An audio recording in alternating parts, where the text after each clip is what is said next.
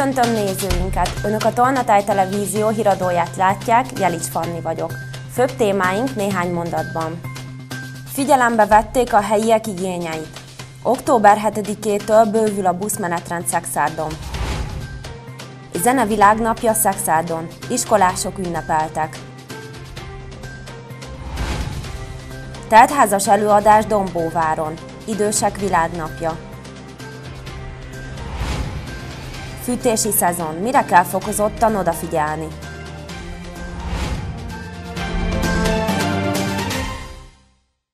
Jó hír a szexárdiak számára. Október 7-től új, bővített menetrend szerint közlekednek a városban a helyi járatos autóbuszok. A részletekről sajtótájékoztatón közlekedési szakemberek és Berlingel Attila, a város polgármestere számoltak be. Jövőbeni előremutató együttműködésben azt is ígérhetjük, hogy mi ezt a kommunikációt folytatjuk. Jelentősen bővülnek a buszjáratok Szexárdon október 7-e hétfőtől. A járatokat nagymértékben legutóbb 2023. augusztusában módosította az önkormányzat, akkor éppen menetritkítást hajtottak végre, és 200 millió forintban maximalizálták azt a támogatási összeget, amelyet a Volánbusz ZRT részére szánnak biztosítani. Ezt követően folyamatos kommunikáció indult el a felek között, figyelembe vették a szexárdiak és a különböző nagyobb cégek visszajelzéseit, ennek eredménye a mostani bővítés.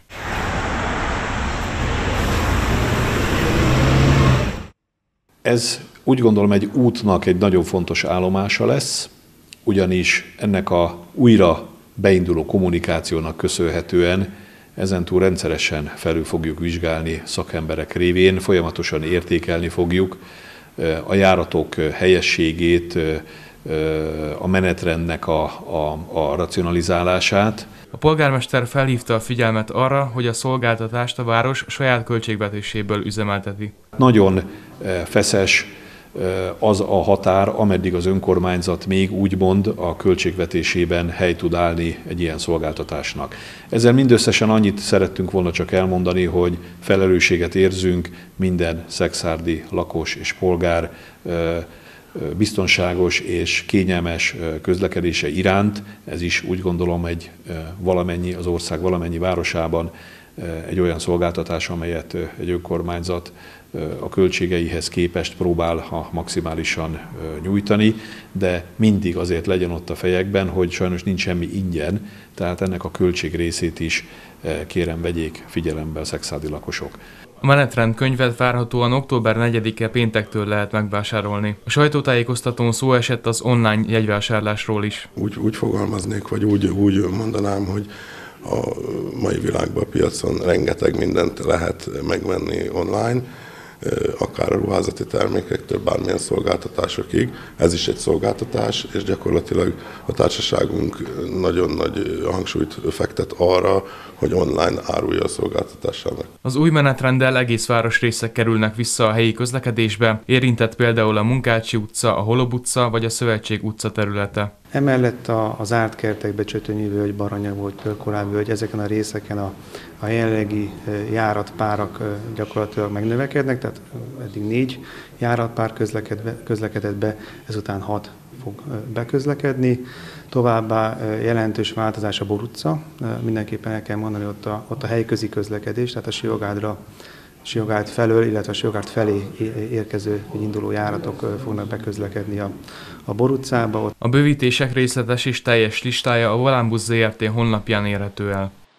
Október 1 -e a Zene Világnapja. A zene, ami összeköt címmel közös éneklést rendeztek a Béla Király téren, Szexárdon általános iskolások közreműködésével.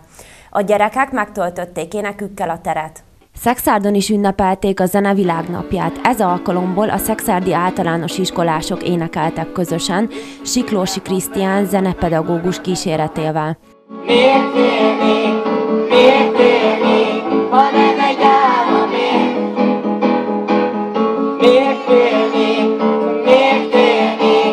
jött ez az ötlet, hogy miért ne csináljunk egy ilyet, hogy Szexár összes iskoláját meghívni, hiszen azt hiszem nem is kell magyarázni ezután, ami itt volt, hogy lélekemelő a muzsika és a zene, és főleg az együtténeklés. Talán ez a legjobb, hogy együtt csinálunk valamit, és ez nagyon kell szerintem a mai világban.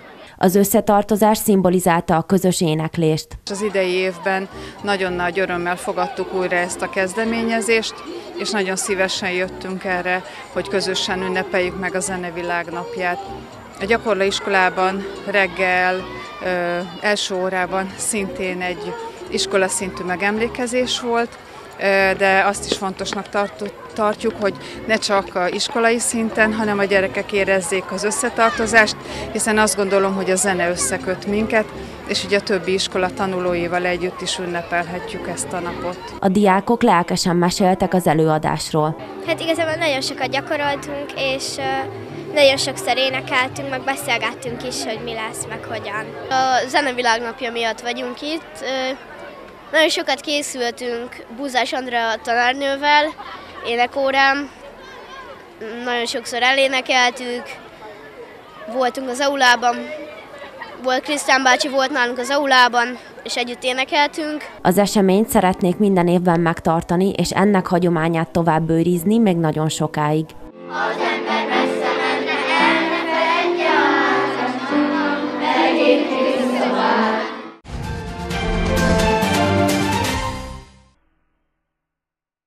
Emberölés történt Dunaföldváron. Október 3-án hajnalban érkezett bejelentés a Tolna vármegyei rendőrfőkapitányságra, miszerint egy Dunaföldvári lakóházban megszúrtak egy férfit. A sérült kerékpárral hagyta el a helyszínt. Pár órával később találtak rá az akkor már életjeleket nem mutató 24 éves férfira. A rendőrök emberölés büntet gyanúja miatt indítottak eljárást. Így futott be a célba a Varsói maratonon a 24 éves Szemerei Levente. Mint arról már híradónkban korábban beszámoltunk, a Szexádi Sportközpont Szedresi hosszútáv futója 2 óra 10 perc 43 másodperces futásával közel másfél perccel döntötte meg Szűcs Csaba több mint 31 éves országos csúcsát a hétvégén, egyben a Varsói versenyt is megnyerte. Az atléta kérdésünkre azt mondta, az országos csúcs megdöntésén nem lepődött meg, annak mértékén viszont igen. Az ENSZ közgyűlésének határozata alapján először 1990 1991-ben rendezték meg az Idősek Világnapját. Így történt ez most Dombóváron is, ahol két teltházas műsorral kedveskedtek az ünnepelt szépkorúaknak.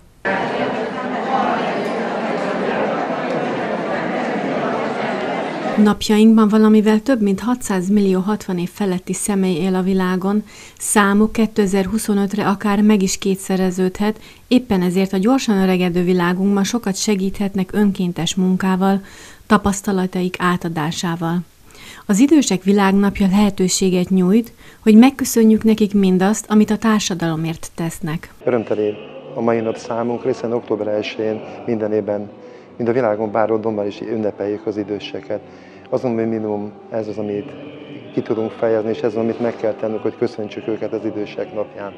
Az idei év Dombováron kicsit lent egy óra sikeredett, hiszen a 14 órára meghirdetett előadásra egy órán belül elfogyott az összes belépő, ezért úgy döntött a képviselőtestület, hogy 16 órakor megismételjük az előadást, és mindenkit szokteletettel várunk a 16 órás előadásra is. Pintér Szilárd ünnepi beszéddel is készült a szép kuraknak ezen apropó alkalmából. Együtt sírunk, együtt nevetünk, közösségünk megérett erre, azon túlmenő, hogy szép korúak, nem idősek, felnőttek vált itt már mindenki Dombováron.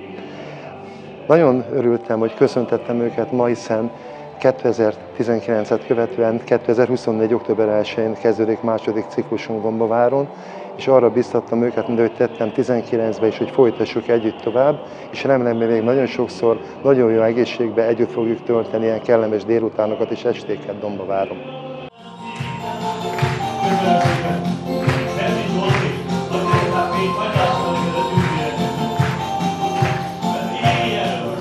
Tarnai Kis László előadása emlékezetes délután nyújtott az október 1-én megünnepelt vendégeknek.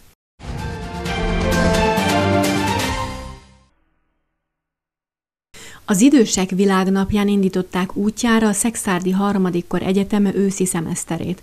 Együttműködési megállapodást írt alá Berlinger Attila, Szexárd polgármestere, és Szécsi Gábor, a Pécsi Tudományegyetem Szexárdi karának dékánja. Az egyességnek köszönhetően az idős korosztály számára divat, életmód, helytörténet és nőiesség témában is tartanak majd előadásokat. Felemás volt az idei szeptember. Forron és szárazon kezdődött, de a hónap második fele hűvös és csapadékos volt, írta a Hungaromet ZRT a honlapján. Szeptember átlaghőmérséklete a Dunántúlon általában 17-18 fok volt, itt a csapadék sokfelé meghaladta a 100 mm-t. A szeptemberi középhőmérséklet országos átlaga 17,7 Celsius fok volt, ami 1,7 fokkal haladja meg az 1991-től 2020-as évek átlagát. verdi. Meghívót kapott a korosztályos labdarúgó válogatottakba két fiatal paksi tehetség, Vas Gábor és Györfi Milán is. Vas Gábor a 21 évesek között húzhatja magára a címeres meszt Málta és Belgium nemzeti 11 ellen Európa bajnoki selejtező mérkőzéseken. A 17 éves Györfi Milán Bonyhádon kezdte pályafutását, és a múlt héten mutatkozott be a Paksi Együttes első osztályú csapatában, ahol végigjátszotta a Fehérvár FC elleni mérkőzést mérkőzést. Ezt követően kapott meghívót az U19-es nemzeti csapatba, ő Skócia gárdája ellen bizonyíthat. Beköszöntött az ősz, itt a fűtési szezon. Sokan talán nem is sejtik, mennyire veszélyes lehet egy-egy fűtési forma abban az esetben, ha nincsen megfelelő információnk a témával kapcsolatban. A tudnivalókról Köves Péter, a Tolna vármegyei katasztrófavédelmi igazgatóság szóvívője adott részletesebb tájékoztatást. A fűtési szezon beköszöntével fontos, hogy minden nemű tájékoztatást és információt megkapjunk a témával kapcsolatban. A tüzelő és fűtőberendezések éves szintű ellenőrzése elengedhetetlen. A friss levegő utánpótlása a szezonban még fontosabb, gyakrabban kell szellőztetni.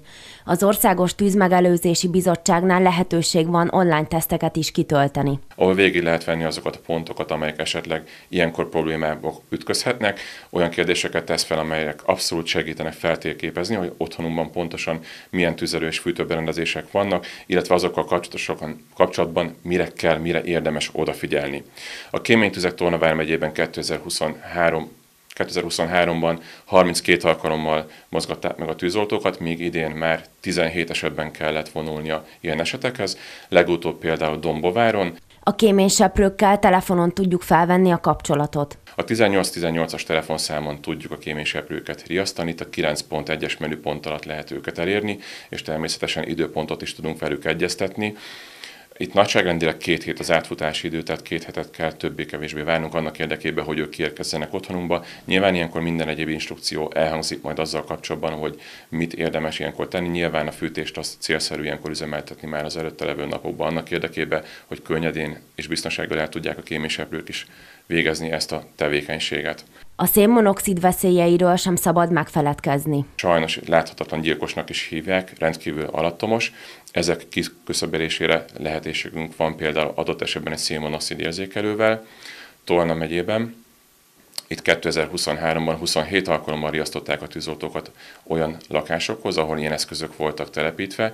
Nyilván ezek még idejében jeleztek, itt még volt lehetősége az lakóknak gondoskodni, elhagyni az épületet, valamint riasztani a tűzoltókat. Köves Péter, a Tolna vármegyei katasztrófavédelmi igazgatóság szóvívője a Sziasztok használatára is felhívja mindenki figyelmét. A szénmonoxid gáz koncentráció megemelkedésének veszélye miatt fontos lenne beszerezni mindenkinek az otthonába egy szénmonoxid érzékelőt. Baranya és Somogy vármegye hírei következnek. Csontok, oktatás, haszonszerzés, emberi test illegális felhasználásával vádol orvosokat az ügyészség. Haltelepítés a Balatonnál. Az év végéig folytatják a munkát. Sakvilágbajnokságra készül egy baranyai fiatal. Támogatás kell a hátrányos helyzetű sakkozónak.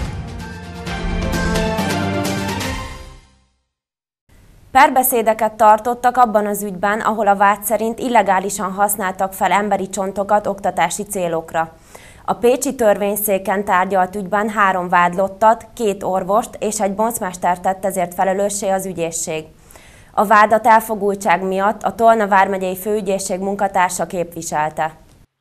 Csak az első rendű vádlott jelent meg a Pécsi törvényszéken, abban a perben, amelyben egészségügyi szolgáltató alkalmazottja által a foglalkozása körében üzletszerűen elkövetett emberi test tiltott felhasználásának büntette, és más bűncselekmények volt a vád.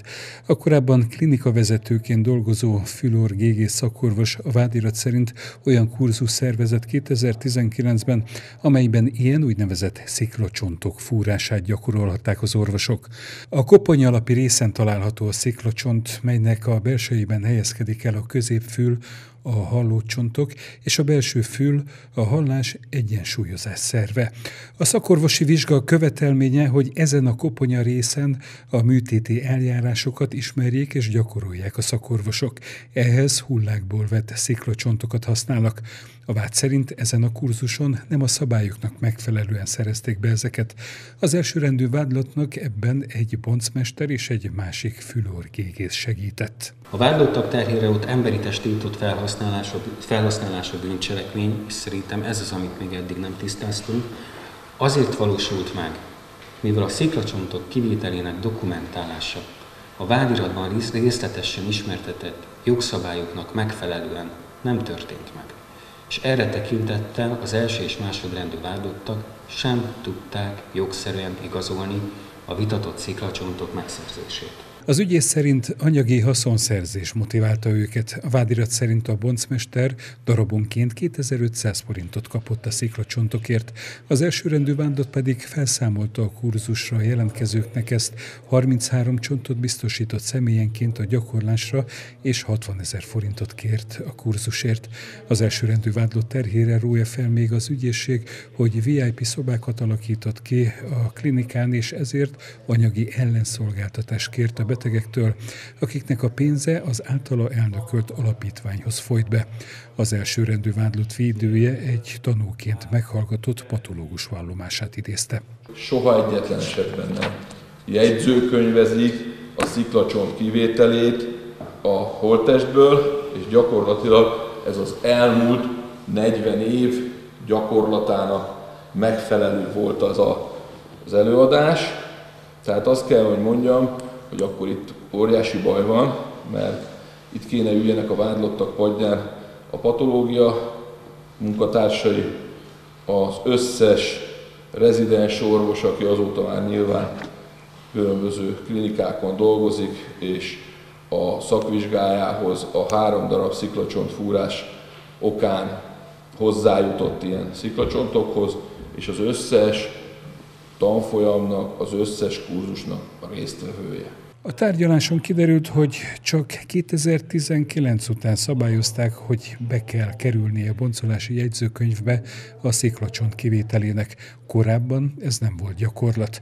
A védő szerint a patológián dolgozókra vonatkoznak azok a szabályok, amelyek a sziklacsont kivételének dokumentálását írják elő. Az oktatási célokra használt darabokról joggal feltételezhették az orvosok, hogy azok így lettek kivéve és kerültek át a klinikára. Ezért az első rendű vádlott felmentését kérte az ügyvéd. Így tett a másod és harmadrendű vádlott védője is. A perbeszédek után ítélet két hét múlva várható, mondta a tárgyalást vezető bíró. Megkezdődtek az őszi lehalászások és haltelepítések a Balatonnál. A halgazdálkodási társaság három nyaras pontyokat juttat el a tó mindhárom medencéjébe. Az előnevelt kopoltyúsokat az írnapusztai tógazdaságból termelik ki, és víztartályos kamionokkal juttatják el későbbi élőhelyükre a Balatonba. Áramnyaras pontyok kerültek a merítőhálókba, hogy megkezdjék útjukat végső élőhelyükre, a Balatonba. A nyári hőség és asszály a haltermeléssel foglalkozó szakembereket is próbára tette. Tavasz jól indult, volt kellő mennyiségű csapadék, a tavakat fel tudtuk tölteni, azonban június végén ez, ez megfordult, és a július-augusztus az nagyon, nagyon asszályos hőhullámokkal erősen szabdalt volt, és nagyon sok víz elpárolgott a halastavainkból.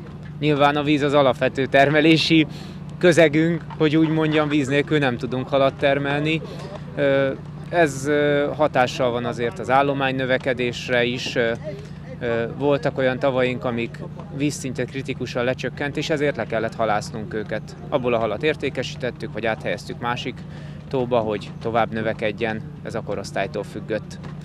Azt kell mondjam, igazából szerencsénk volt, az elmúlt években jól fölkészültünk erre a szélsőséges időjárásra, nagyon sok levegőt, agregátort vásároltunk, szükség szerint üzemeltettük ezeket a halastavakon, és hát nagyon odafigyeltünk a vízminőségre, hogy az ne, ne forduljon káros irányba. A szélsőséges időjárás okozta károk megelőzésére a társaságnál az a döntés született, hogy inkább kevesebb halat termelnek ki adott vízterületről, így több hozam lesz a természetes táplálékon. Ezáltal ugyan nem használjuk ki a tavakban rejlő maximális potenciált, egy sokkal visszafogottabb termelést valósítunk meg, de a kisebb darabszám a vizekben azt jelenti, hogy ezekben a kritikus időszakokban, amikor lecsökken a vízszint és kevesebb az oldott oxigén, vagy akár szélsőségesen 30 fok fölötti a vízhőmérséklet, jobban átvészel a, a tóban levő halállomány. Ez persze nem jelenti azt, hogy a társaság ne tudna eleget tenni mindenkori kötelezettségének, ami az éves haltelepítéseket illeti.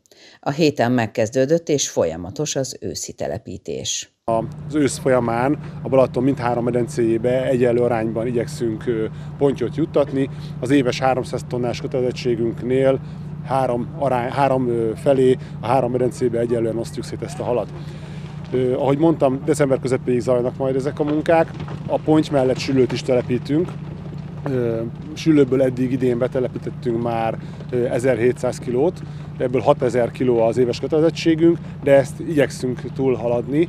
Tavaly évben például rekordévünk volt sülőtelepítés tekintetében, nekünk is jó termésünk volt, és a, a piacról is sikerült beszereznünk még sülőt, és több mint 13 tonnát, tehát több mint a dupláját telepítettük a kötelezettségünknek. Idén, ha ennyit nem is, de, de mindenképpen szeretnénk meghaladni a, a, a minimum penzumot. Az éves telepítési kötelezettség nagy hányada most az őszi-téli időszakban kerül be a Balatonba. Ilyen van a betakarítás, a, a produktumnak valamikor be kell érnie, és a tenyész időszak ugye az a tavaszi felmelegedésektől mostanáig tart, ilyenkor nő a hal. Persze évközben is vannak ritkító halászatok, tehát idén tavasszal és nyár folyamán mm, is telepítettünk már pontyot, eddig 44 tonnán állunk, de ez is mutatja az arány, hogy a 300-ból még csak 44-et tettünk be, és a felmaradó nagyobb hányad az karácsonyi tartó időszaknak a munkája lesz. A horgászok, mint mindig, most is figyelemmel kísérhetik a telepítéseket. Azt, hogy adott napon hol várhatók ilyen munkálatok, a társaság honlapján is nyomon követhetik. Kivételes tehetségű, de hátrányos helyzetű pécsi tanulónak gyűjtenek a Tegyünk Együtt Jót Egyesület tagjai. A Baranyai kisfaluból származó fiú amatőr sakvilágbajnokságra készül Görögországba. Az ehhez való költségekre nagy szükség lenne. A regisztrációra a pénz egy része már összegyűlt, azonban a bajnokságon való teljes részvételhez még tovább kell gyűjteni az Egyesületnek. Ehhez kérik a segítséget.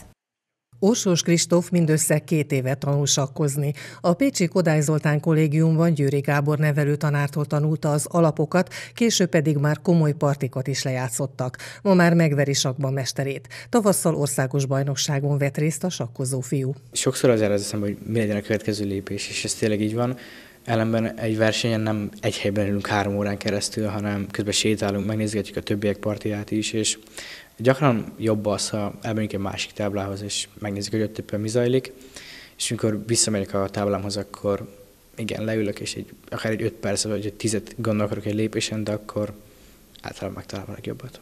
A baranyai kisfaluból származó 17 éves gimnáziumi tanuló halmozottan hátrányos helyzetből érkezett egy pécsi gimnáziumba. Beilleszkedett szorgalma tanulásban is megmutatkozik, most pedig nem mindennapi eseményen vehet részt Görögországban.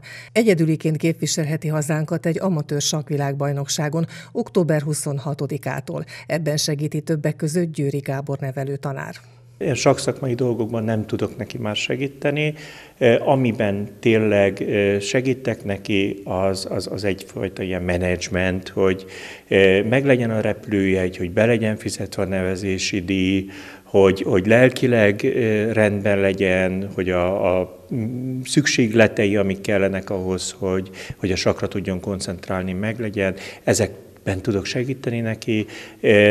Szakmailag pedig igazából most Csiszár Csaba saknagymester az, aki elsősorban egyengeti az útját. A világbajnokságon való részvételhez már eddig is érkezett támogatás, hiszen a költségek egyharmadát már be kellett fizetni. Azonban az ott tartózkodás és az ott zajló további tanulás, oktatás is komoly költségeket igényel. Ehhez szervezi a gyűjtést a Tegyünk Együtt Jót Egyesület. Szükségünk van még edzői díjra, most már azt merjük mondani, ki tudjuk fizetni az edzőt, ami nem kevés pénz havi szinten, illetve laptopot kell vásároljunk neki, mert hogy a családi háttér miatt sajnos neki nem, ő nem kapott az iskola által.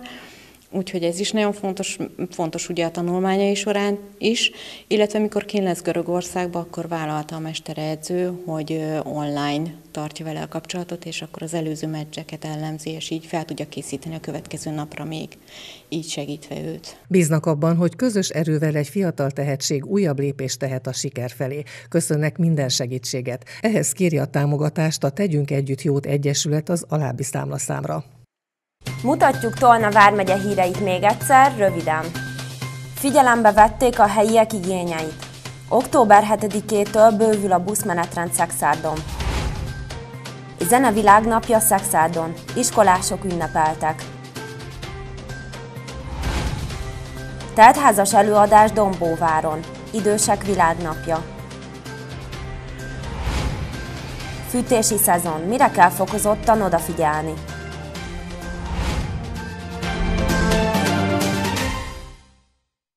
Pénteken is még országszerte alapvetően borongós égbolt marad a jellemző. A délelőtt folyamán országszerte lehet változó intenzitású eső, záporeső. Délután a délnyugati, majd a nyugati országrész felett vékonyodhat a felhőzet. Éjszaka nyugaton vékonyabban, szakadozottan felhőségbolt mellett párássággal, kötfoltokkal is lehet számolni. Friss hírekkel legközelebb péntek este jelentkezünk. Mára köszönöm figyelmüket, viszontlátásra!